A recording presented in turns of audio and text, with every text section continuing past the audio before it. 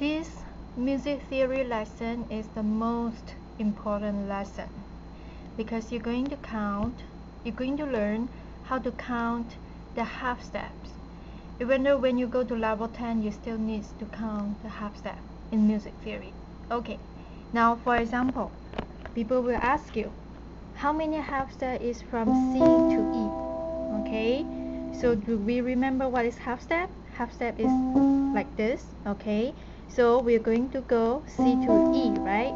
So this is one, two, three, four. This is a four half steps. Okay. Now next question will be D to F. So how many half step is this? So we will count one, two, three. E is a three half step. Okay. Now how about if you have B to the E. How many half step? Okay, so make sure you count all the every single half step. So this is one, two, three, four, five. This is a five half step. Okay, now how about these two notes right here?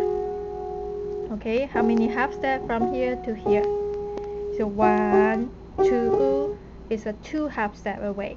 Okay, and how about uh, this one right here F to C okay? So this is one two three four five six seven seven half step okay?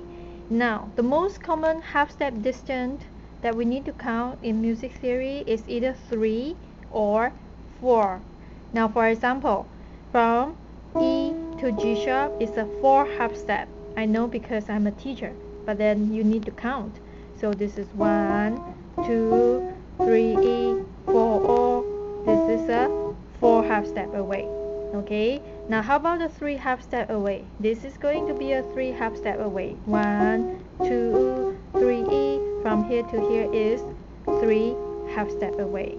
So today we learn how to count the half step. Thank you